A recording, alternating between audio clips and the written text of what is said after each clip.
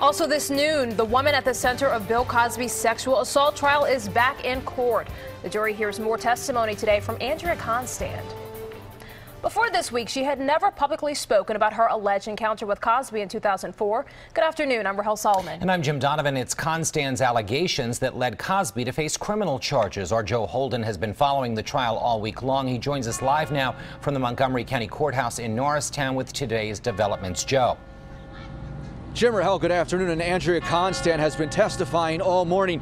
Bill Cosby's defense team is trying to paint inconsistencies in her testimony from meetings she had with the actor and comedian in 2003 and 2004.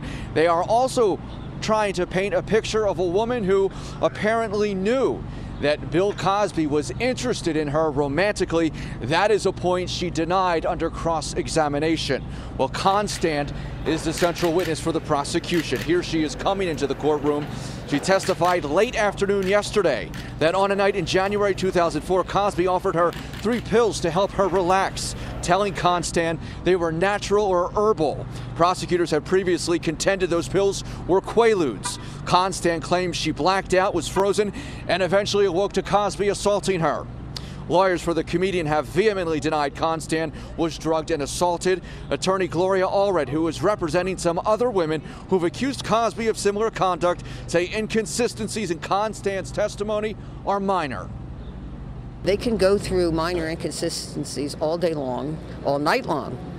It's still not going to go to the issue of was she incapacitated by those pills and was she even able to consent or not consent?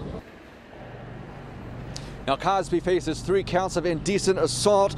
The high profile nature of the trial has assured one thing the court has been stern in its handling of the many reporters covering the trial. Cell phone use inside that courtroom is prohibited, and the judge issued a stern warning that members of the jury are apprehensive and no member of the press should attempt to contact them.